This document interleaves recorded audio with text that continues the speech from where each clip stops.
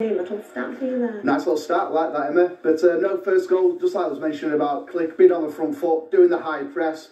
We've all got little triggers all over the pitch, so when one person kind of goes to do press, people behind them go back it up. And that's what Klich's done. Just too strong for Travis, just rolls it into Patrick Bamford's foot. And like I said, there's been probably a handful of times where we've been in these positions and bodies around the, the attacking player, take that extra touch. You don't